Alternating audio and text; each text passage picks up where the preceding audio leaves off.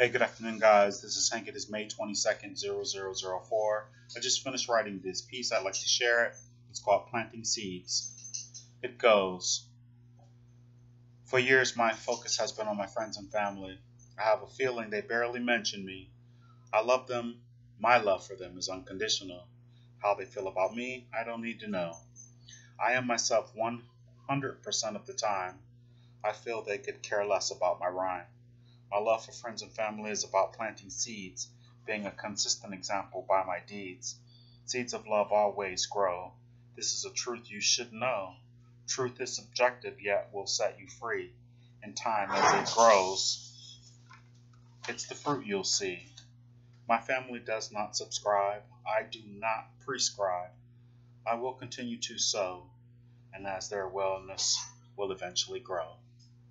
All right, guys, thank you very much for listening. I do appreciate it. Love and light.